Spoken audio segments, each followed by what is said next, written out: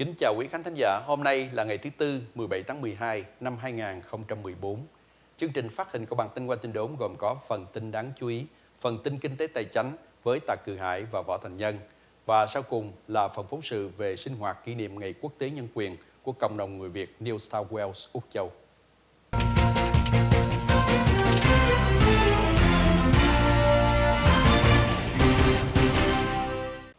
Phần tin đáng chú ý gồm có những tin chính sau đây. Ông Obama sẽ ký hai dự luật có thể ảnh hưởng tới việc bán vũ khí. Thẩm phán liên bang cho rằng hành động di trú của ông Obama là vi hiến. Sự hạ giá dầu có thể phương hại cho những nhà sản xuất Hoa Kỳ. Trước hết, kính mời quý khán thính giả theo dõi bản tin chi tiết. Đe dọa khủng bố giờ đây tệ hại nhưng Hoa Kỳ có khả năng tốt hơn để chống lại. Người lãnh đạo sắp ra đi và phục vụ lâu nhất của Cơ quan Quản trị An toàn Vận chuyển hay TSA nói rằng mối đe dọa khủng bố giờ đây tệ hại hơn khi ông mới nhậm chức hồi 4 năm trước. Nhưng Hoa Kỳ đang ở vị thế tốt hơn để chống lại các âm mưu nước ngoài.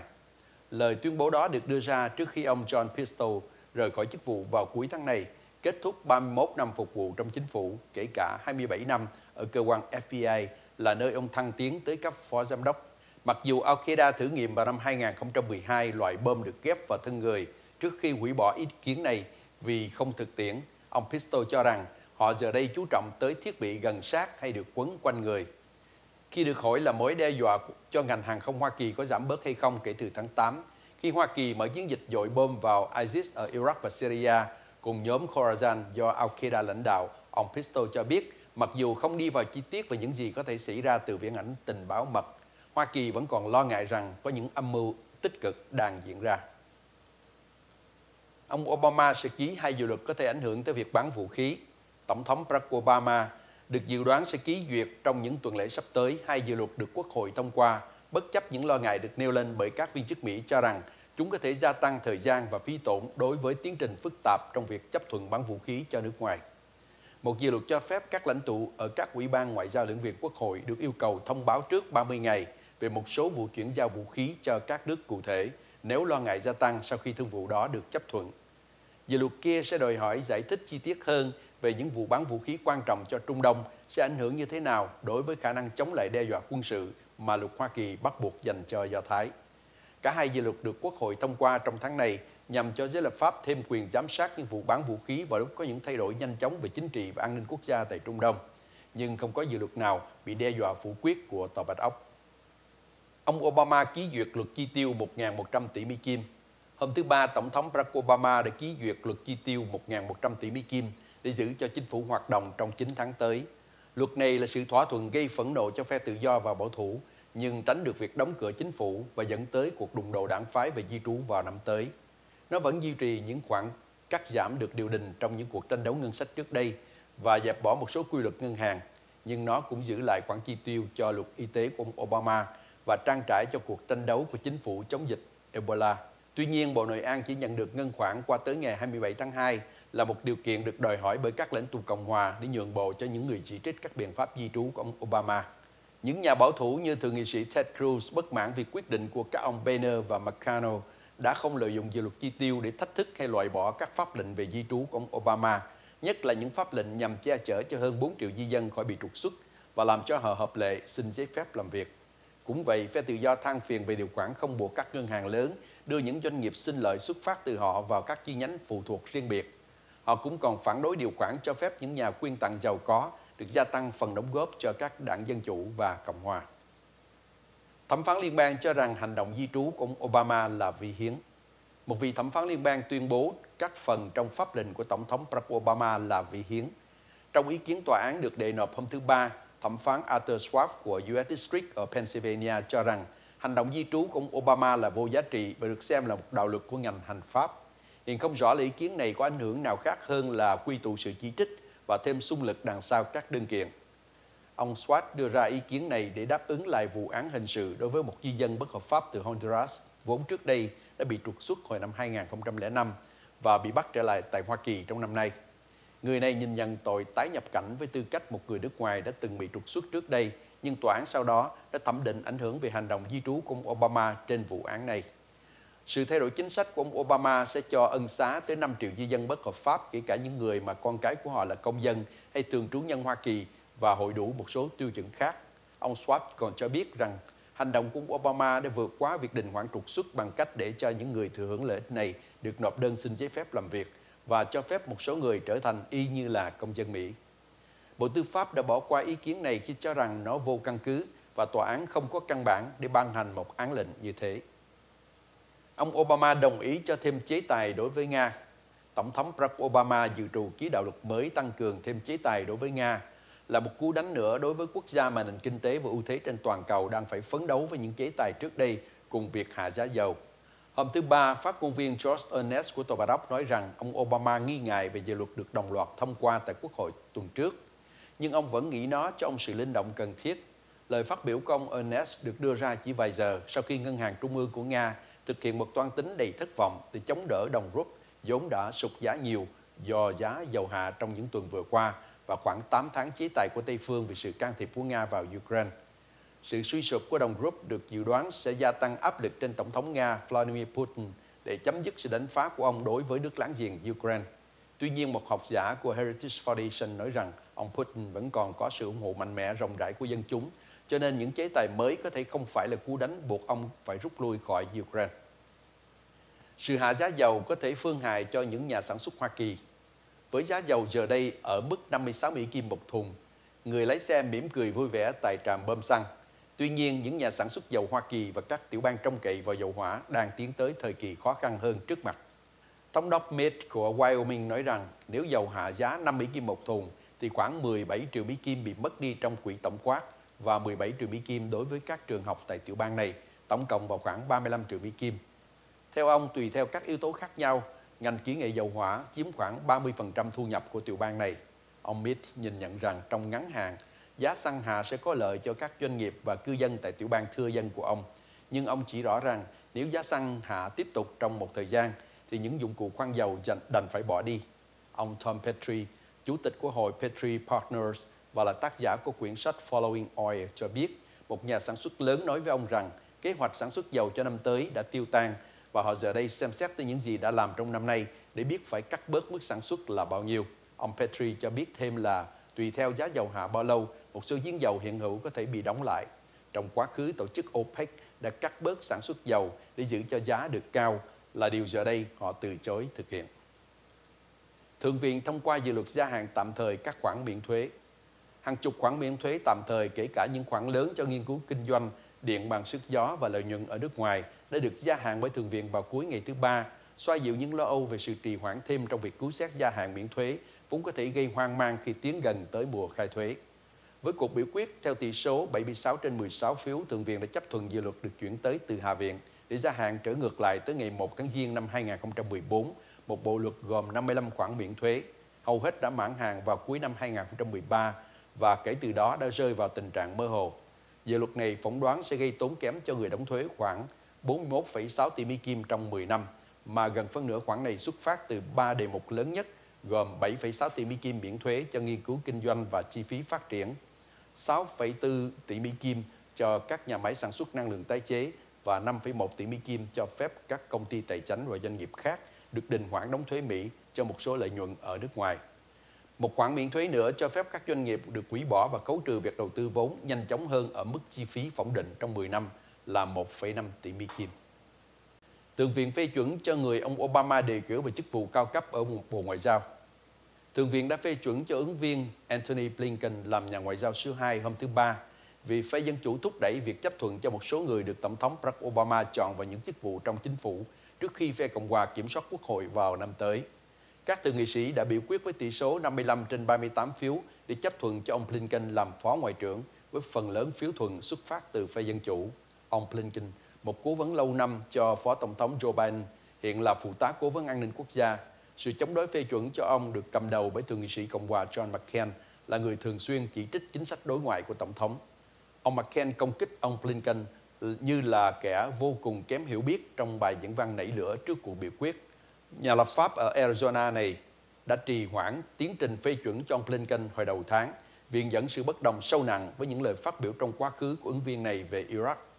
Thượng nghị sĩ Dân Chủ Robert Menendez, đương kim chủ tịch Ủy ban Ngoại giao Thượng viện biện hộ cho ông Blinken như là người xuất sắc hồi đủ điều kiện.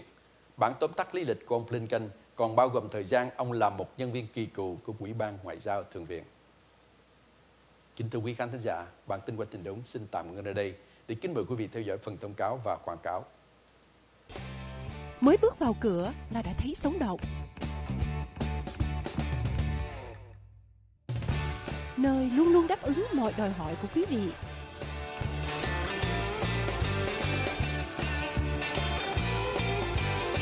Nơi mà bè bạn, thức ăn ngon lúc nào cũng chờ đón.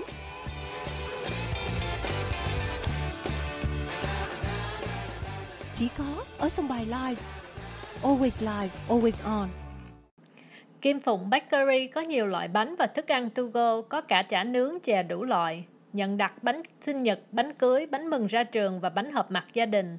Nhân dịp mùa lễ, Kim Phụng Bakery có nhận đặt bánh kem mừng Giáng sinh, Bush the Noel, được sản xuất tại chỗ và trang trí đẹp mắt. Kim Phụng Bakery tọa lạc tại Eden Center, mở cửa mỗi ngày từ 9 giờ sáng đến 8 giờ tối. Điện thoại số 703 534 4525, 703 534 4525. Thông báo kính mời quý cựu quân nhân cán chính Việt Nam Cộng Hòa bớt chút thời giờ đến dự buổi sinh hoạt đặc biệt lúc 3 giờ chiều Chủ nhật ngày 21 tháng 12 2014 tại Thư viện Ái Châu 1339 Baker Street, Charlotte, NC 28204. Sau giờ sinh hoạt của Hội Người Việt Cao Niên, chúng ta sẽ bàn về Hội Cựu Quân nhân Cán chính Việt Nam Cộng Hòa tại Charlotte và vùng phụ cận.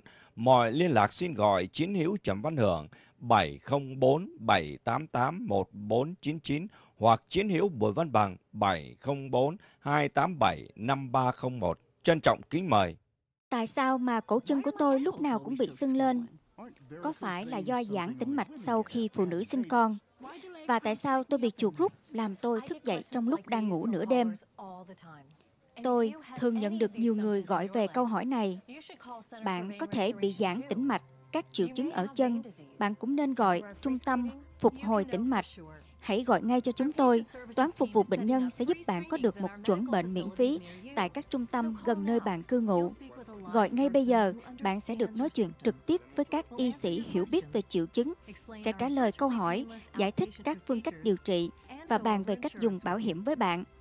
Đồng thời, chúng tôi có các bác sĩ Việt Nam sẽ trực tiếp trao đổi với quý vị bằng tiếng Việt. Xin hãy gọi ngay 1855 401 8346. 1855 401 8346. Để đánh dấu 30 năm phục vụ cộng đồng cùng phát huy xây dựng và bảo tồn văn hóa, cũng như giới thiệu những cái hay cái đẹp của Việt Nam với thế giới, Tổ hợp xuất bản miền Đông Hoa Kỳ vừa phát hành một danh mục thật đẹp, giới thiệu các sản phẩm của tổ hợp cũng như của một vài cơ sở bạn. Để được nhận danh mục biếu không của Tổ hợp xuất bản miền Đông Hoa Kỳ, xin vui lòng gửi hai Mỹ Kim cước ví về địa chỉ tủ sách Cành Nam 2607 Military Road, Arlington, Virginia 22207 USA, điện thoại 703 525 4538 hay email cành nam at dc.net. Cảm ơn quý vị đã chờ đợi để tiếp tục theo dõi bản tin qua tình đống. Sau đây kính mời quý vị theo dõi phần tin kinh tế tài chính với Tạ Cự Hải và Võ Thành Nhân.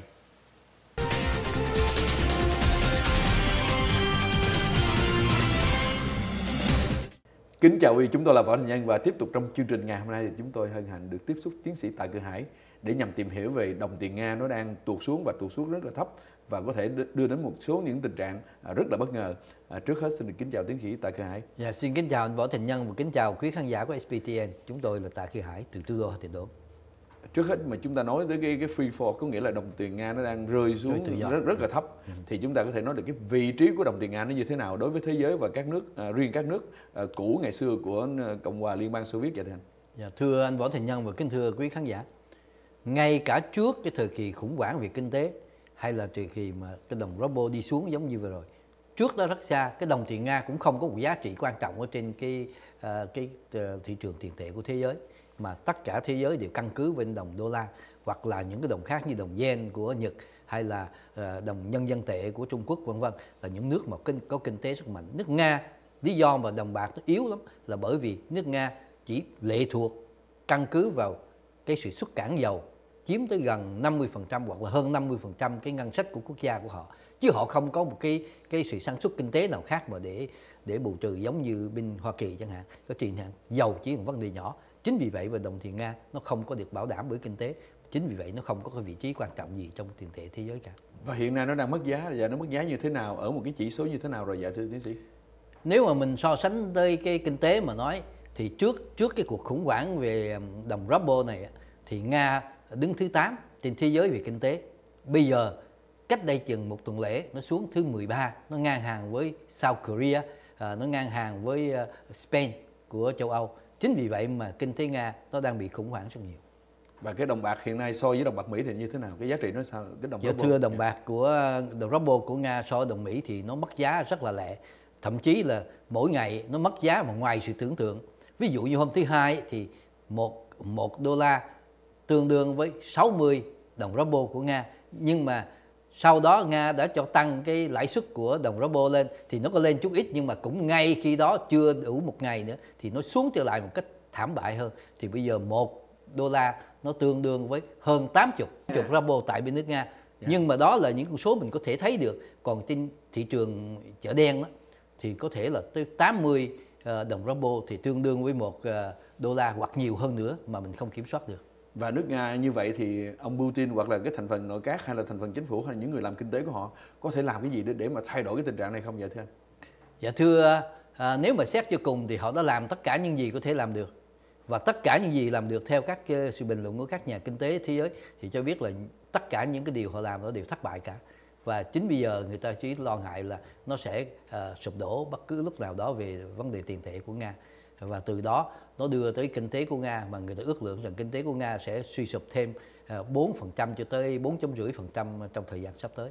Cuối cùng là vấn đề mà một cái giải quyết là cái vấn đề chính trị và quân sự đối với Nga và Ukraine có thay đổi được hay không vậy thưa Vấn đề à, quân sự mà và chính trị giữa Nga và Ukraine à, thì có xu hướng có thể thay đổi là bởi vì mới đây thì mình có nghe là Nga có ngỏ ý là à, qua đường Syria Ờ, muốn thương thảo với Mỹ về chuyện này là bởi vì rõ ràng cái giá dầu và cái sự cấm vận nó kết hợp với nhau, nó tạo thành một sức ép rất mạnh cho kinh tế Nga nói chung và cho tài chính, cho ờ, đồng ruble của Nga nói riêng. Thì đây là vấn đề quan trọng mà cái sự thay đổi đó rất là khó khăn chứ không phải là dễ và ờ, chúng ta thấy rằng là khi mà gặp khó khăn như vậy đó thì cái thái độ của nước Nga trong tương lai à, đối với lại các nước láng giềng đặc biệt là tại Đông Âu à, sẽ thay đổi hay không hay là à, họ sẽ trở lại giống như bình thường sau khi mà họ bình phục họ hoặc là họ phục hồi được cái cái đồng tiền um, ruble vậy thôi. Dạ nếu như mà họ phục hồi được á, thì mình nói là gần như bình thường hay là có thể bình thường nhưng mà thực tế không bao giờ bình thường được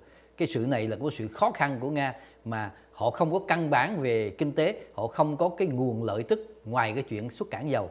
Chính vì vậy mà cái xuất cảng dầu là chính yếu của họ lại thêm cái sanction cái sự bế môn toạc cái gì cấm vận của Hoa Kỳ và châu Âu nữa thì làm cho nó kết hợp lại nó làm cho họ thiệt hại rất là lớn. Cho nên họ không có phương pháp nào mà để thoát ra khỏi được một cách à, nếu mà lý luận một cách bình thường và chúng tôi cũng được biết rằng là Nga thường hay có những cái hợp tác với lại Ukraine trong vấn đề sản xuất máy bay, à, kỹ nghệ hàng không và họ có sản xuất những những cái hàng không loại rất là lớn. Nhưng mà hiện nay từ năm 2009 thì không còn có những sự hợp tác đó nữa.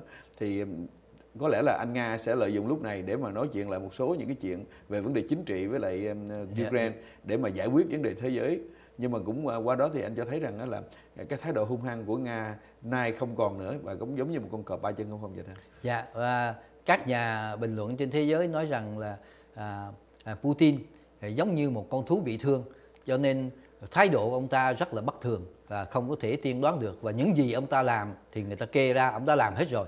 Và bây giờ thì ông đang lúng túng. Chính vì vậy mà tôi nghĩ là thế nào nga cũng tìm một giải pháp để mà thương lượng. Nhưng mà ai tin nước nga là một chuyện khác. Và nhân cái cái cơ hội này đó thì các nước uh, trước đây là thuộc uh, liên bang xô viết đó thì bây giờ họ đã thoát khỏi liên bang xô viết rồi và họ lại tin tưởng thêm mạnh hơn vào mỹ cũng như các nước âu châu uh, thay vì họ tin nước nga như trước đây. Chính vì vậy mà nước nga sẽ bị thiệt hại rất nặng. Như vậy là những cái chuyện mà người ta bàn là nên mua những cái stock của nga lúc này à, trở thành mơ hồ. Dạ thưa à, nói chung thì là mình mình nếu mình cá lên tin mua stock thì cái chuyện đó rất là nguy hiểm. À, nhưng mà riêng trường hợp của nga này nó là càng nguy hiểm hơn. À, dĩ nhiên là bây giờ nó rẻ nó rẻ nhưng mà nếu mình mua nó rẻ mà nó còn giá trị thì nếu mình mua nó rẻ mà rồi nó xuống luôn nó mất luôn nữa thì bây giờ à, người ta dùng danh từ bốc khói nó tức là stock nó sẽ mất biến mất trên à, nó vapor dạ yeah. bốc hơi dạ nó bốc hơi dạ À, kính thưa chương trình của chúng tôi với tiến sĩ Tạ Cự Hải đến đây xin được tạm ngưng và chúng tôi xin hẹn gặp lại vị à, vào kỳ sau. Một lần nữa xin được cảm ơn tiến sĩ Tạ Cự Dạ, Hải. cảm ơn Võ Thành Nhân, cảm ơn quý khán giả. Kính chào quý vị. Và sau cùng, kính mời quý khán thính giả theo dõi phần phóng sự về sinh hoạt kỷ niệm Ngày Quốc tế Nhân quyền của cộng đồng người Việt New South Wales, Úc Châu.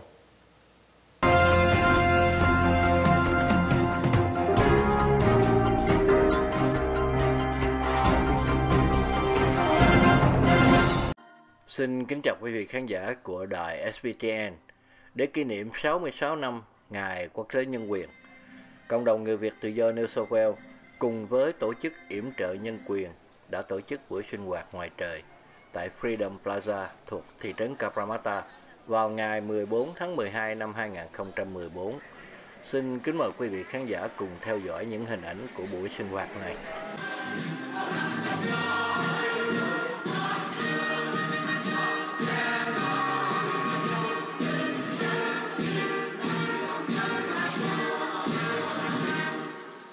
Mục tiêu của Tổ chức Ủng trợ Nhân quyền là quảng bá với nhiều hình thức khác nhau về các giá trị căn bản của quyền làm người, giúp đỡ những nạn nhân mà quyền làm người của họ đã bị vi phạm một cách trầm trọng. Để đạt được các mục tiêu này, Tổ chức Ủng trợ Nhân quyền sẽ tổ chức gây quỹ để có phương tiện giúp đỡ những nạn nhân nói trên, tạo ảnh hưởng các cấp chính quyền, đặc biệt chính phủ liên bang để những vị dân cử giúp chúng ta lên tiếng về các trường hợp vi phạm nhân quyền ở một diễn đàn rộng lớn hơn và hiệu quả hơn. Chúng ta có mặt hôm nay ở đây là bằng chứng của sự quan tâm của chúng ta đối với vấn đề nhân quyền. Tận đáy lòng của mọi người chúng ta, ai cũng mong muốn một ngày không xa, mọi người trên quả đất này sẽ không còn phải chịu sự tra tấn, tù đầy, đánh đập, những sự ngược đãi bởi chế độ độc tài cộng sản. Dạ, hôm nay là ngày rất là quan trọng tại hôm nay là ngày International Human Rights Day và con đây rất là cảm động là à, cộng đồng người Việt đã à, organize một cái event như vậy để mà tranh đấu cho nhân quyền của người Việt Nam. Tại vì thưa các cô với các chú biết là nhân quyền ở Việt Nam thì rất là nhiều người à, bị giam à, vào à, tù lao tại vì họ à, họ nói tiếng lên hay là họ giống như à, kháng lại cộng sản Việt Nam và cho nên ngày hôm nay rất là quan trọng và um, chúng ta phải nên à, tranh đấu cho những quyền lợi của những người Việt Nam ở bên đó. À, thì Maria hôm nay à, được à, những ban tổ chức à, mời Maria tới làm MC cho cái cái, cái tiết mục này à, là 2014 International Human Rights à, Day. Thì Maria thấy là mình ờ, là một giới trẻ thì mình cũng không có hiểu biết nhiều về cái topic này. Thì Marie cũng thấy là rất là à, là là fortunate là bữa nay được ra đây để hiểu biết để nghe những người giống như là bác võ đài tôm đã trải qua rất là nhiều để tới bên ờ, nước nước này nước úc. Thì Marie nghĩ là cái cái cái topic về human rights là rất là quan trọng là giới trẻ nó phải cần biết về human rights. Mình ở xứ tự do thì mình thường xuyên mình không có nghĩ tới mà những người giống như bên bên à, bên à, Việt Nam á, giống như là bây giờ người ta nói là khoảng 34 người blogger đang ở trong tù. Những người blogger, những người những người lên mạng người ta ghi về giống như chế độ cộng sản. Người ta nói về một cái view của người ta, cộng sản không thích, cộng sản bắt mấy người đó, bỏ người ta vô tù. Thì Marie thấy cái đó là ở đây thì không bao giờ thể nào có được. Mà bên những nước giống như về Việt Nam đã có xảy ra, những giới trẻ cũng có bị bắt những người lớn tuổi của miền Bắc người ta không có quan tâm với những người đó mà bắt họ thì đàn áp họ Marie thấy nó không đúng. Bởi như vậy á, là giới trẻ phải làm sao hiểu biết về human rights mới cho một tương lai mình có thể là mình thay đổi Việt Nam được.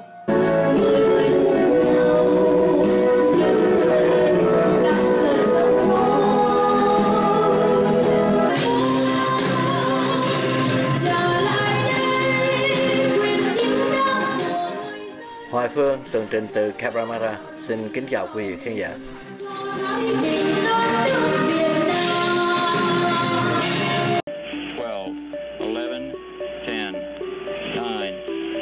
Ignition sequence has